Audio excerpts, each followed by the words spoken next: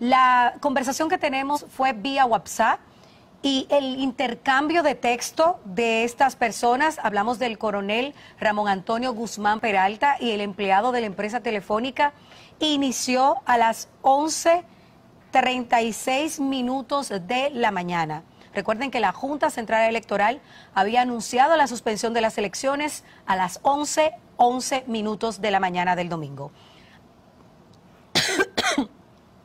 Anterior a esto hay conversaciones entre esas dos personas, incluso llamadas que fueron tumbadas, pero no nos dieron acceso a esas conversaciones. Vamos a hablar de lo que ocurrió y lo que nos entregaron a nosotros, que es a partir de las once y media más o menos de la mañana de ese día.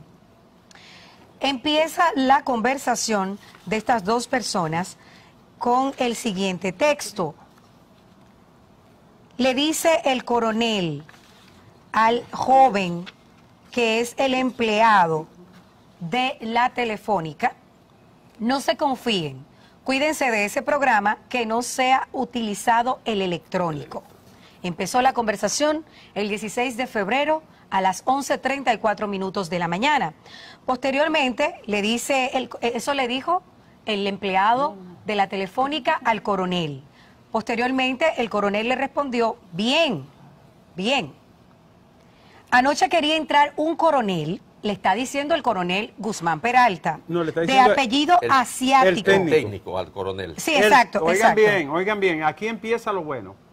Anoche quería entrar un coronel de apellido asiático a la central de Herrera de forma sospechosa.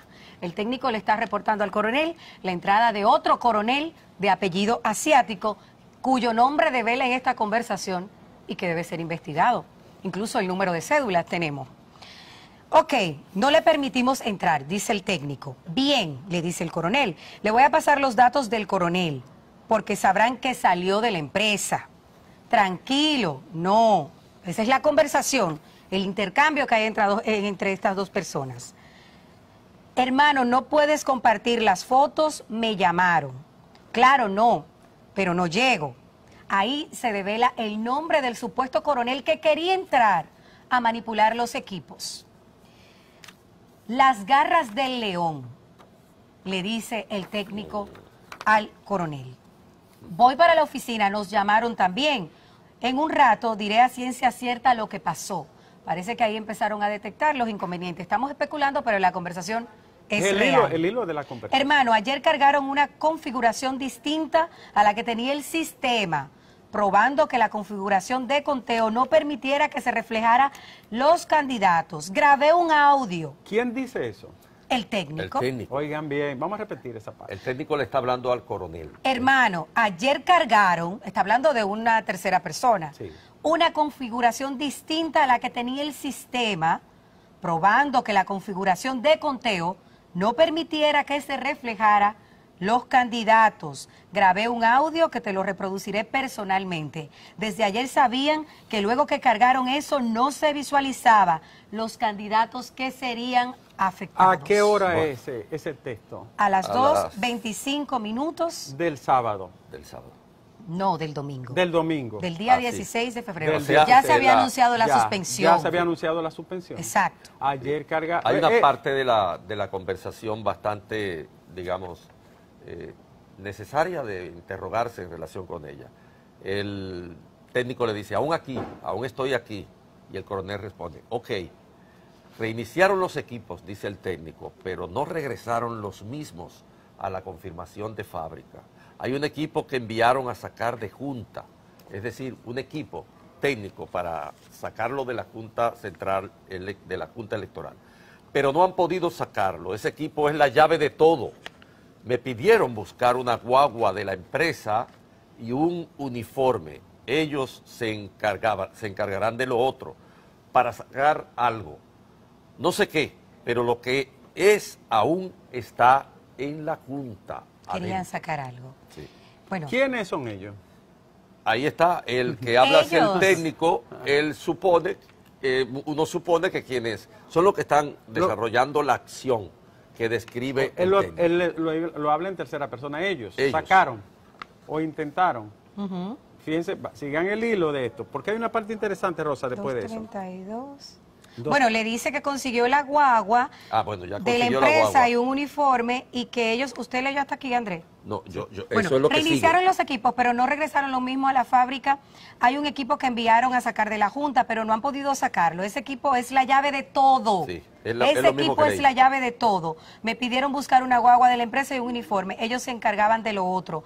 Para sacar algo, no sé qué, pero lo que es aún está en la Junta. Entonces, luego le dice que no se comprometa a ese nivel. O sea, porque ya es delicado. Le dice el coronel al técnico. Exacto. Copiado. Compraron pizza, ahora voy a entrar de nuevo. Estoy ayudando con un IP que tiene problema. Ya la reparé. Solo falta probarla. La voy a conectar y me voy. Si quiere, al salir de aquí nos reunimos. Insisto, estas personas tuvieron conversaciones antes del 16 de febrero. Las que nosotros tenemos son de las 11.34 minutos de la mañana. Ya se había anunciado la suspensión del torneo electoral por parte de la Junta Central Electoral. Había conversaciones que no nos dieron acceso, pero sí se veía una cadena de llamadas tumbadas por parte de uno de los dos que estaban interactuando. Cuando le dice que ya compraron pizza y todo eso, la conversación continuó.